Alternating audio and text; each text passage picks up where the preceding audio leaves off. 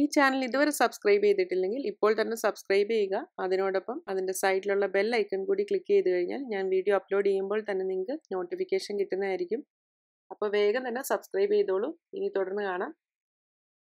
ഇന്ന് ഒരു lunch menu ആണ് തയ്യാറാക്കാൻ പോകുന്നത്. ചോറിന്റെ കൂടെ മൂന്ന് കറികളാണ് തയ്യാറാക്കുന്നത്. അപ്പോൾ ഒരു നാടൻ ഫിഷ് കറി ഉണ്ട്. പിന്നെ ബീട്രൂട്ടിന്റെ ഇല വെച്ചിട്ട് ഒരു തോരനുണ്ട്. പിന്നെ ഒരു പുളിശ്ശേരി.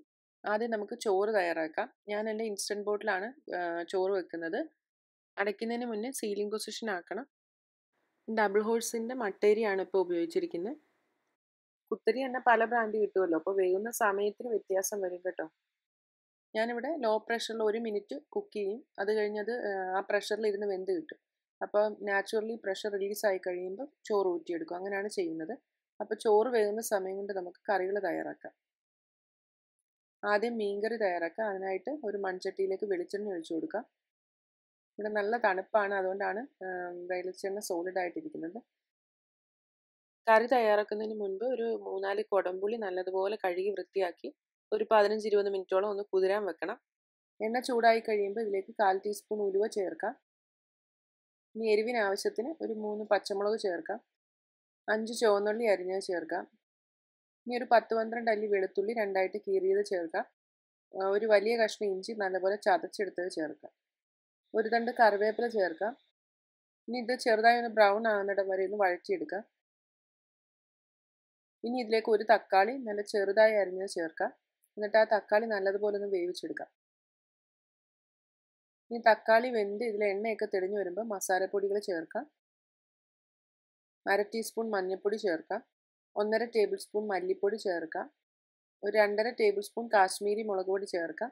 അപ്പോൾ കാശ്മീരി മുളക് പൊടി ആകുമ്പം എരിവ് വളരെ കുറവാണ്. എരിവ് കൂടുതലുള്ള മുളക് പൊടിയാണ്. അതനുസരിച്ച് ചേർക്കണം. നമ്മൾ പച്ചമുളകും എരിവിന് ചേർത്തിട്ടുണ്ട്. ഇനി പൊടികളുടെ പച്ചമണമൊക്കെ മാറുന്നിടം വരെ ഒരു അഞ്ചാറ് മിനിറ്റ് ഒന്ന് വഴറ്റിയെടുക്കാം. ഇനി ഇതിലേക്ക് നമ്മൾ കുതിർത്ത് വെച്ചിരിക്കുന്ന കുടമ്പുളി ചേർത്ത് കൊടുക്കാം. ഇനി ആവശ്യത്തിനുള്ള വെള്ളം ഒഴിച്ചു കൊടുക്കാം. ഒരു ഒന്നര കപ്പ് മുതൽ രണ്ട് കപ്പ് വരെ മതിയാവും. ഇനി കറിക്ക് ആവശ്യത്തിനുള്ള ഉപ്പ് ചേർക്കാം.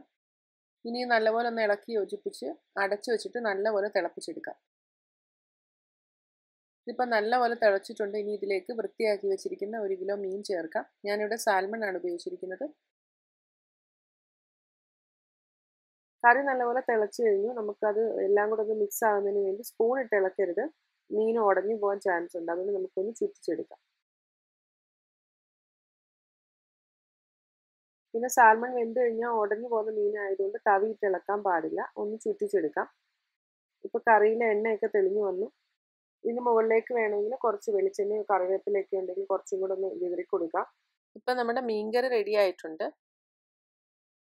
ഇനി നമുക്ക് പുളിശ്ശേരി തയ്യാറാക്കാം.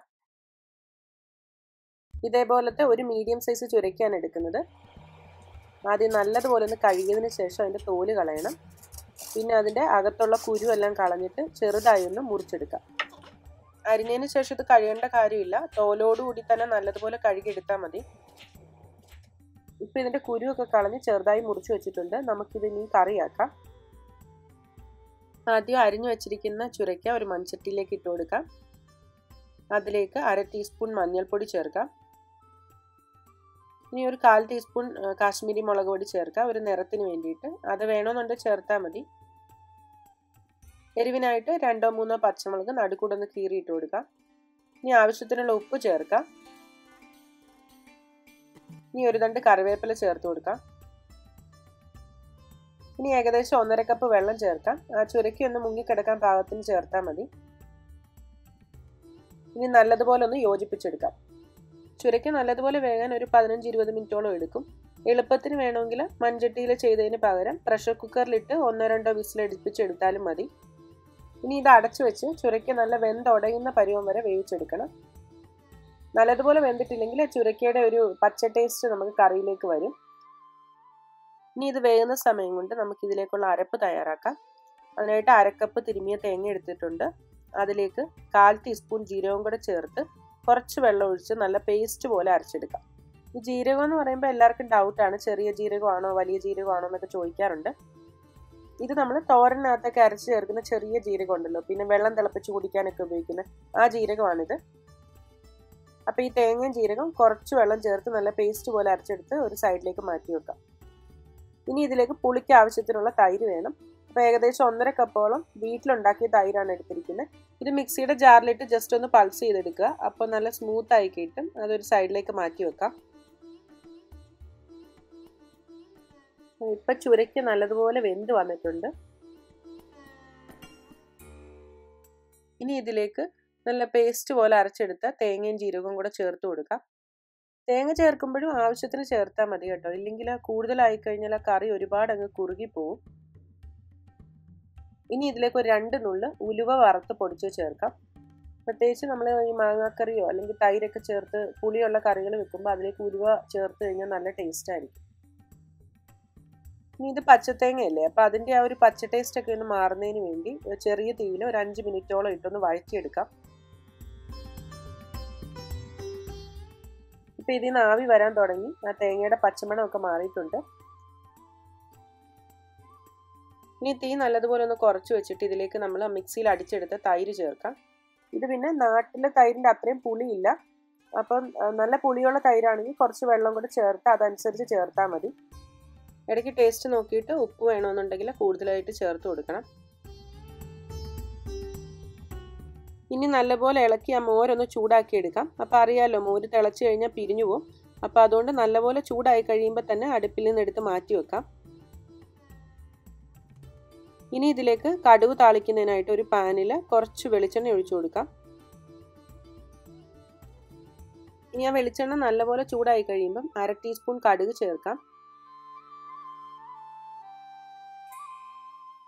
കടുക് പൊട്ടിക്കഴിയുമ്പോൾ ഒരു നുള്ളു ഉലുവ ചേർക്കാം.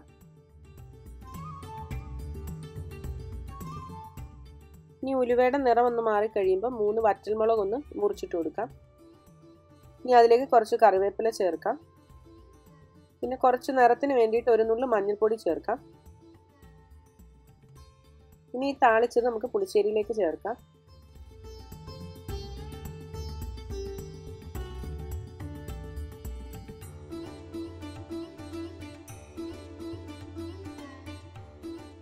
ഇനി ഇത് നല്ലതുപോലെ ഒന്ന് ഇളക്കി യോജിപ്പിക്കാം.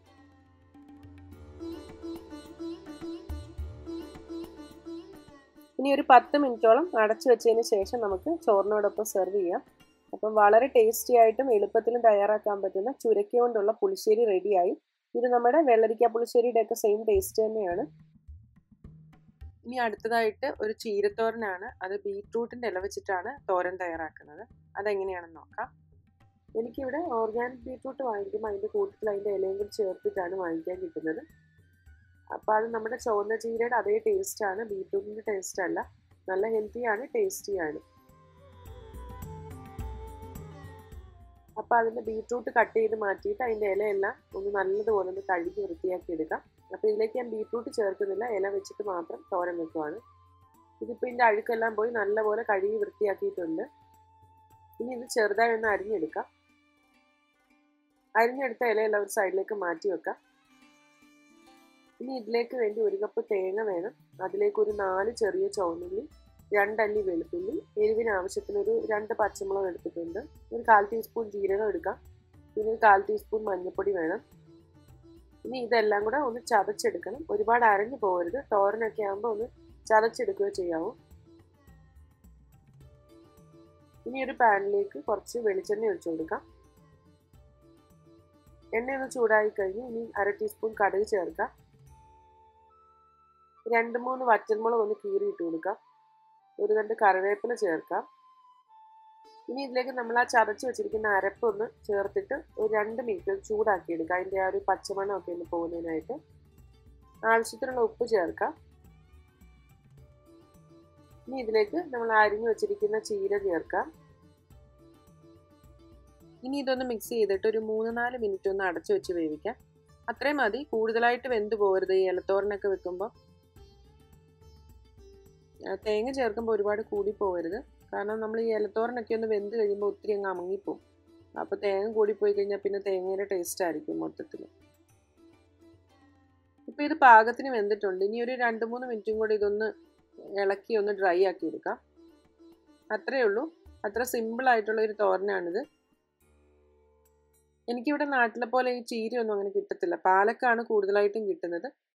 അപ്പോൾ നമ്മുടെ ചുവന്ന ചീരയുടെ അതേ ടേസ്റ്റിൽ തന്നെ കിട്ടുന്ന ഒരു ഐറ്റമാണ് ഈ ബീറ്റ്റൂട്ടിന്റെ ഇല എന്ന് പറയുന്നത്. പിന്നെ ഈ ബീറ്റ്റൂട്ടിന്റെ ഇല വെച്ചിട്ട് തോരനാക്കാവുന്ന അറിയാത്തവരും കാണും.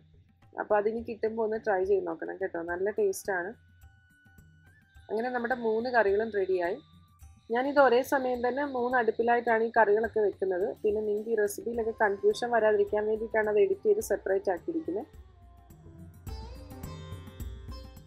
അങ്ങനെ നമ്മുടെ ചോറ് നല്ലതുപോലെ വെന്തിട്ടുണ്ട്. ഇനി ഇതിന്റെ വെള്ളമെല്ലാം ഊറ്റിക്കളഞ്ഞ് ഒരു പ്ലേറ്റിലേക്ക് സെർവ് ചെയ്യാം. നമ്മുടെ കേരള മട്ടേരിയാണ് ഉപയോഗിച്ചിരിക്കുന്നത്. അതിനോടൊപ്പം ബീറ്റ്റൂട്ട് ഇലത്തോരൻ. പിന്നെ നല്ല കുടംപുള്ളി ഇട്ട മീൻകറി.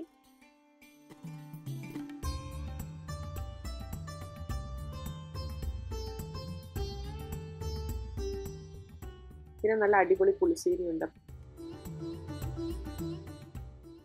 ഉണ്ട് ഈ ലഞ്ച് മെനു എല്ലാവർക്കും ഇഷ്ടമായിട്ടുണ്ടെങ്കിൽ ഈ വീഡിയോ കണ്ടുകൊണ്ടിരിക്കുന്ന ആരെങ്കിലും സബ്സ്ക്രൈബ് ചെയ്യാനുണ്ടെങ്കിൽ ഒന്ന് സബ്സ്ക്രൈബ് ചെയ്യണം കേട്ടോ.